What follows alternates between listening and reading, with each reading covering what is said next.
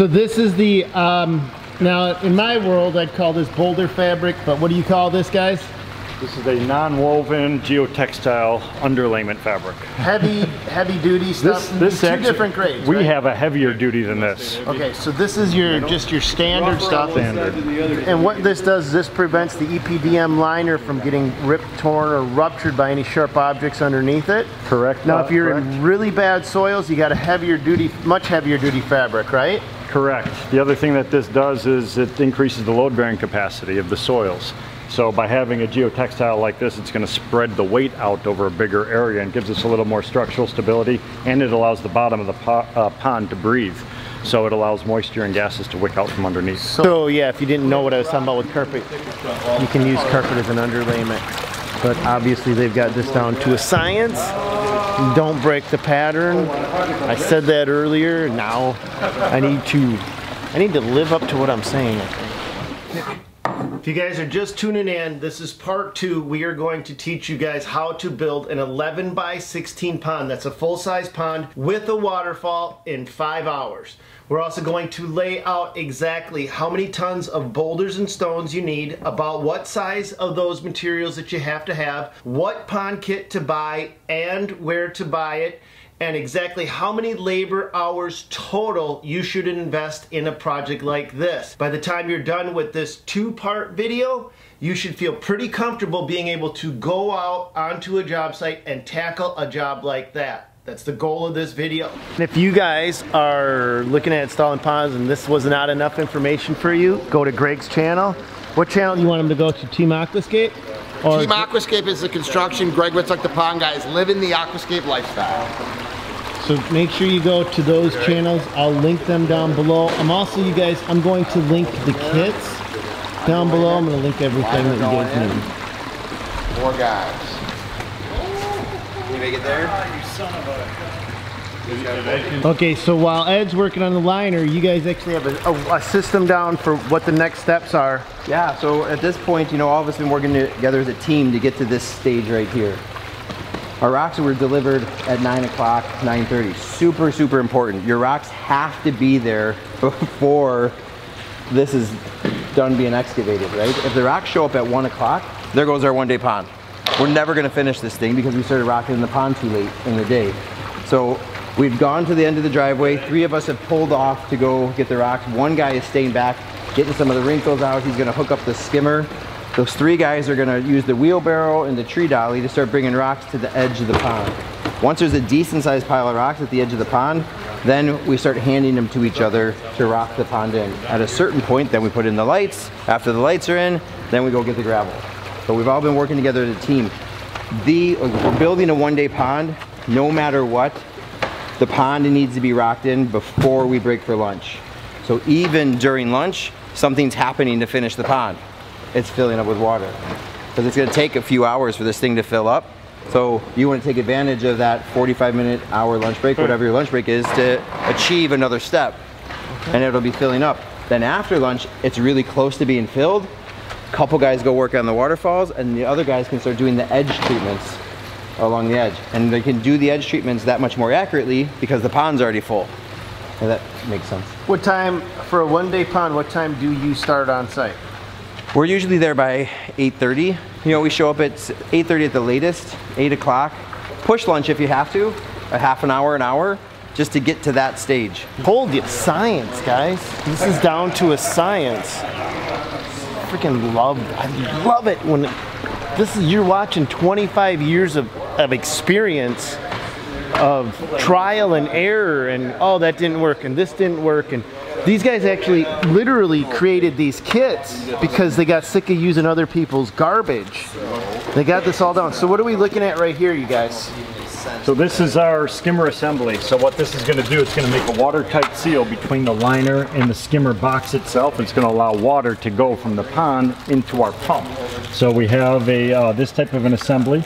This is an adjustable uh, faceplate. So in case we're off a little bit on our transit measurement, it gives us a little bit of flexibility. We could raise or lower this by three inches so we could increase water level or decrease it accordingly uh, to make sure that we fine tune it exactly. This can be a little bit confusing, uh, so just make sure that you line the, the two on the bottom, one on the top up. Okay. um, those machine screws Yep. um, act as guides. So those just slide through the top two corners like so. Hands free now. Okay. Hand, hands, well, kind of. Um, but these, the ends of them here, they're machined to be almost what awls, right, Yes, or hole punches, exactly. right. So um, the liner will actually penetrate, or these will penetrate through the liner. So I'm going to put a bead of silicone around Okay. the perimeter right here, covering up all those holes. And then that's I'll- the that plate goes over the liner, so Over the the liner, liner. goes up. Okay, got it. Okay, so the silicone goes Ryan in. was the champ. Reigning. Can't put them down That's a in good here way to until bust your teeth out. Eyes up. Eyes up, ears open.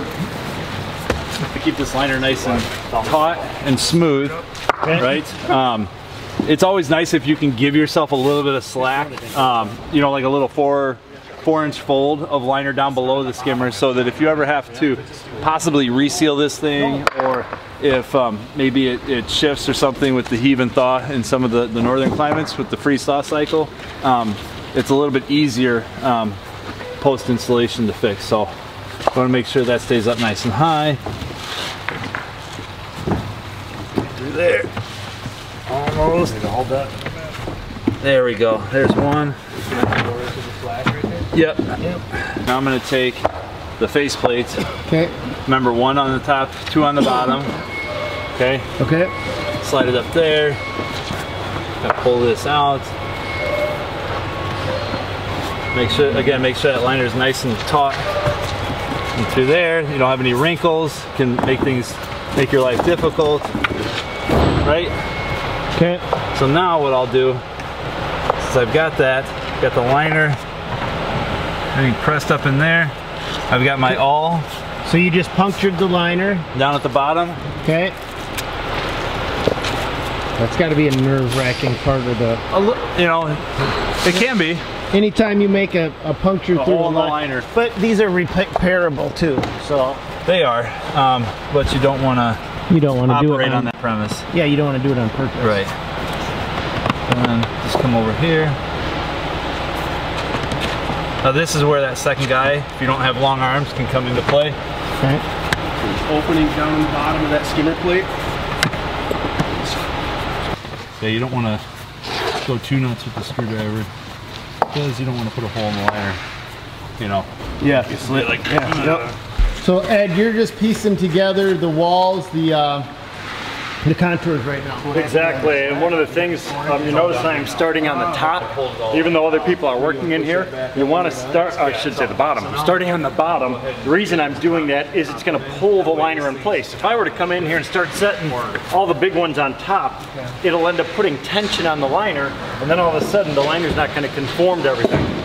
I'm going to get a couple bucket loads of gravel, start filling in behind those rocks to kind of lock everything in place. What if they don't put anything in the pond? That works really nice too. if they don't put anything in the pond, the problem's going to be multiple things.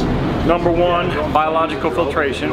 Um, by having all the rock and gravel, every square inch of this rock is going to become a habitat and a home for algae, for different types of microorganisms, which are food for the fish as well as they help to control water quality.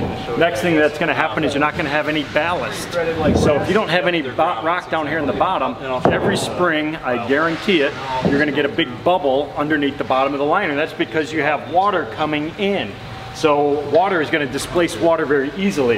This pound for pound per cubic foot is much heavier than water obviously. That's going to give it weight down the bottom. It's going to push the water through our fabric, which is also part of that system, and allow it to go into the uh, surrounding area. The other thing that it's going to do, it's going to look hideous. By not having any rock and gravel inside of this thing, it's going to look awful. Final thing is all of that soil what's holding it in place.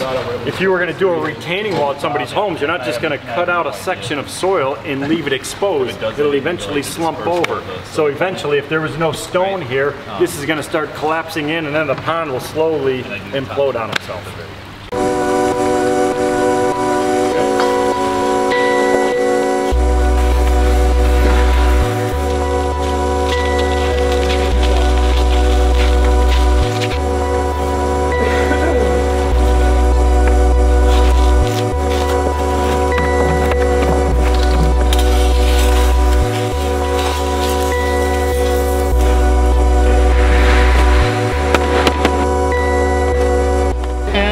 Question for you.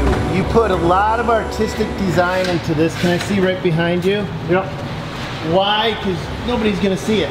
You're gonna see it because our viewing area is right there. And the water's gonna be crystal clear. And it's getting rid of that ring of necklace, ring of uh, pearls necklace type of a, a look. So by having these little unique things, it just adds interest. And, and that's the fun part of the job. You know, you're always thinking of, okay, if I, this is how I want this to look. Viewing, looking down, creating layers and structures and breeding areas for, for fish, etc. Okay, so destination boulder is what? So when we explain rocks to customers, these types of rocks would not necessarily tell me or invite me to come walk up on the edge of the pond because of the round nature of them, the size of them. I always say either you're falling in or the rock's falling in, right? A destination boulder is a little bit bigger rock, flatter surface, the kind of rock that invites you to walk up and stand up on top of it. And so we call them destination boulders, some people call them fish feeding rocks, you know, stuff like that. We've got butt rocks, destination boulders, waterfall stones. What's a butt rock? Put your butt on it. and sit down? Sit on, like a rock that you would sit on. Oh. It'd be very close to the destination boulder. We always encourage people to interact with the pond as much as possible. That's just part of the reason bringing it up close to the main viewing area. But kids will be kids. There's no way you're gonna keep kids there on the deck or the patio. So if you give the kids and adults like a place to actually walk to, then they'll focus on those areas. Okay. Good with it? Okay, so Ed and Tim right now are working on uh, digging out for the frame rocks, right Ed? Exactly. So we're thinking about where the waterfall's going. We're making a series of ledges that the uh, boulders are going to sit on. We're also kind of getting the vision of how we want that water to twist and turn its way around. So let's look at a set of frame rocks. All waterfalls go by the formula of having two frame rocks and then a waterfall in between. So look at this. Frame rock, frame rock, waterfall in between. Frame rock, frame rock, waterfall in between.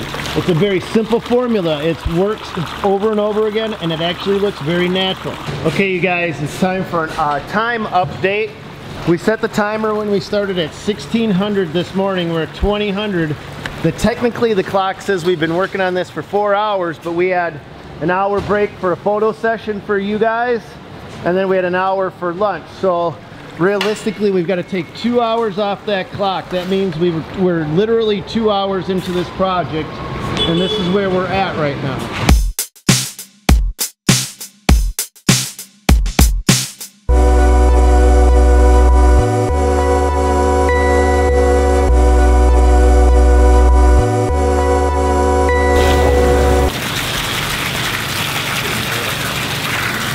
So you guys don't mess around with filling it. I mean, you get on that right away, don't you?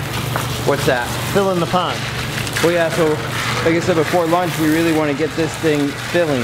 So at this point, I can tell that there's probably only another 15 minutes to rock in that section there. Chris is kind of tidying up some stuff over here. So I'd come in here, start rinsing from the top down, moving all the debris and dust and everything down to the lowest point. We put a clean out pump down there and we pump this dirty water out until it starts pumping out clear. At that point, we'll start filling it. Okay. Um, I strongly suggest getting a water meter. So you can attach a water meter to the end of the hose and it'll count how many gallons you're putting in the pond because every homeowner wants to know exactly every homeowner wants to know exactly how many gallons are in the pond and so it'll tell you to the gallon how many gallons are in here. That way then they can accurately add the necessary water treatments and stuff like that. If you don't have a water meter, something we've done in the past is timed filling up a five gallon bucket and then just do the math. Oh yeah. Clear the dirty water, wash the gravel down. Yeah, we started at 1600.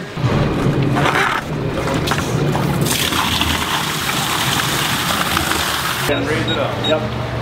So Brian's checking all of the water elevations, so he knows right where his water is going to be at. And if, you know, worst case scenario, you could drop the water down a titch too. Yes, could. we could. Right? You could drop it down. We have the adjustable faceplate. We Yep. could drop that down. We could split it. yeah, I was just going to say you could drop the water elevation down by about an inch Exactly. for security, yep. and it wouldn't really impact what's going on out here. Pretty too good much. by eye. You guys got it. So you guys manually raised it up, Ed? We did. All right, so you raised it up to get your elevation change. So you peeled the fabric back, put more soil in place, raised it up. That way you got your comfort zone established for your uh, overlap. Yep. So we're looking at the edge treatment. I see you don't have the ring of pearls or the do necklace. not. So edge treatment is probably the most critical part when you start doing the detail stuff. And that's because that's what the people are gonna see. That's where people are gonna come into contact with it. We have our deck, we have the viewing areas, we have a little walkway cutting across. So as people are interacting with the water feature, the first thing that they're gonna notice is where the water ends, the rocks are there and then the landscaping begins. So you want a, a really unique transition. You don't want it to look uh, man-made. You don't want it to look perfect. Should have differences in elevation. You should have big boulders, little boulders, river rock, planted pockets, decks, different hardscapes and things coming into contact with it because that's really what gives it that naturalistic appearance. That's what really makes it all work together. So the edge treatment takes time. We're trimming, we're tucking the liner. We don't want to just randomly come in here and start throwing gravel all over the stuff. You see, we have very strategic locations, big rock, uh, different types of river rock. We have soil coming right up to the back of those stones. All of those are going to create different uh, viewing areas and it kind of uh, plays with the senses a little bit. All over, probably. All right, so you guys are actually installing stones into the spillway, and you have a cover that goes over the top of that. No, this is left open. So you have, you want, um, this is creating like a pool, just like another pool of the water feature. This is gonna well up with water and overflow. We need to get to those uh, skimmer, or these filter pads once a year for cleaning, so we don't wanna totally co- cover it up. The other thing that we'll do is we'll put aquatic plants up inside of here. Okay, so you have plants. Ed, can you pull, or Brian, one of you guys, can you pull that pad out so these guys can see the skimmer pad that Ed was just talking about? So you have to be able to get to those. On my arm, did I screw something? No, no, you're good. So see this slot right here? Yep. That's that allows you to be able to pull these out without having to take the whole tray out. Okay, okay, so that's your pad. That's your upper filter pad that has to be changed once a year. Yep. Washed off. Washed. Washed off. Well, washed off. Yeah, yep, Correct. yep. Okay. Because those things last for a long Yeah. time. Absolutely. Now, uh, word of caution, you've got to buy pond safe filter pads. Don't go to Menards and you'll see rain gutter filter pads that goes in there. Uh, you, you can't use regular um, other material because they actually have agents in there that will kill the fish. Trust me. Lesson learned. All right, so now we are foaming in. We actually asked about a cover over this, and a lot of people will do that. They'll just take a big piece of slate and put it over the top of that. If you think about it, it's kind of like which rock doesn't belong. Right? Everything's been round and and a certain look, and then to take this big thin piece of slate and put it on top looks ridiculous. Then you're putting stuff on top of the slate to try to hide the piece of slate. Use landscape. So give me a plant name like a I don't know, a Cotoneus or a Hosta, you know, a Hosta will work, right? So you get a, like a Sum and Substance Hosta that gets this big, right? Half the plant covers this entire thing. Yep. So use landscape to actually help soften this up more. Putting some giant lid on this will make it look ridiculous. It'll piss me off is what it'll do. Brian will come to your house, say, this is not a What, certified what have aquascape. you done? Which you did not, where did you learn this from? Don't say dirt monkey. We do have a repo program. If it's not done properly, we're gonna rip it out for you. Just leave that open. huh? Use plants. I mean, think about it, you use a plant to hide an air conditioner. If you can't figure out a plant to come over the edge of this, then shame on you. The pond kit for this, mm-hmm. Chris was saying something that I want to catch, comes with what? The best part Even is that is, is the welcome kit. Not to pat Brian on the back or anything, but what he's really good about is giving that that new customer that new that new client um, just this overwhelming sense of joy and happiness, right? And it's and it's all through celebrating the lifestyle and and getting them to feel all the warm fuzzies about having a new water feature. So this kit is the second best thing from having Brian deliver that message is we've kind of put everything into a kit that's the best. Yep, thumb drive. Nothing says I love you and you'll love your pond like a thumb drive. But what's on it is like so. Here's what happens: is we finish a project, And there's no way the customers are gonna remember everything we went over. How to maintain the skimmer, how to do the dosing system, what about leaks, how to do the lights, the transformers, the IonGen, right? All these different things that need to happen. This goes over everything. But what we tell customers every single time is listen, I expect you to re retain maybe 1% of what I've just told you because they're giddy, right? They're excited. This is something they've dreamt of having forever. They're so focused on just the aesthetics and when are they gonna have their first pond party and everything else. So I say, don't worry about it. We're gonna set up an appointment two weeks later write down all the questions you might have in that next two weeks and then we'll address it when you're ready to go over that kind of stuff again. Okay, so we got the skimmer running. You've already can, showed us the basket. Right, and you can see how these leaves are now, all this debris is slowly coming in here. Now if you want to maintain this, here's a trick. You take this door right here, close it. When I do that, the pump stays on and you're gonna see the water level diminish in here. Now I can take this out and really get an idea of what's going on inside this. It exposes that filter mat. So now I can come in here without getting my hand frozen in that cold water especially this time of year. Pull this out. Below that, can you see that rack down there? This guy here. That's what supports this filter mat. I to get to my pump, all I do is I twist. Obviously, I want to shut this off. If I try to un untwist it now, I'm going to get pretty wet. But I would come in here, and you can see how easy this is to twist. I would just twist this completely off, pull this out, and then I can get to my pump. Okay, here we go. We're about to give birth to a new waterfalls.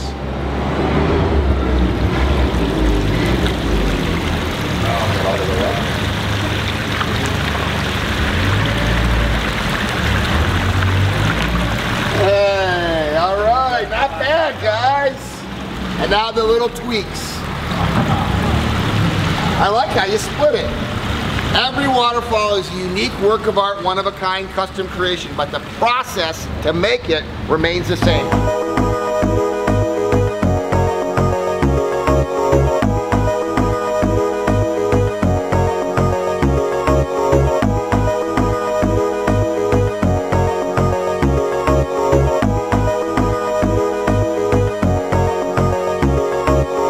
Just because it's creative doesn't mean that you have to do something different to build it. It's always the same process. And when you do that, you can get trained guys that can replicate a process and then that's when you can make the money. All right, so we started at 1600. All right.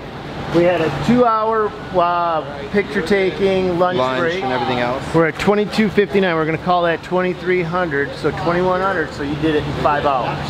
Nice. 15 man hours? Bam. Ooh. Well, and actually we would have included lunch in part of that day, so it's a six, still a six man hour day. Would you believe they could have done that? And so now you're looking at this, Tim. Would you believe that you can install something like that in a single day? Uh, when you get the experience, I believe, yeah. Before, if, if I would have told you, would you believe No, it? no, but yeah, I, I, don't think that you could, no. I hope this video has helped you out. A big thanks goes out to Greg for letting us hang out here for a couple days. Big thanks to Brian, Chris, hello, Ed the scientist, Tim the rookie. I hope this video has helped you guys out.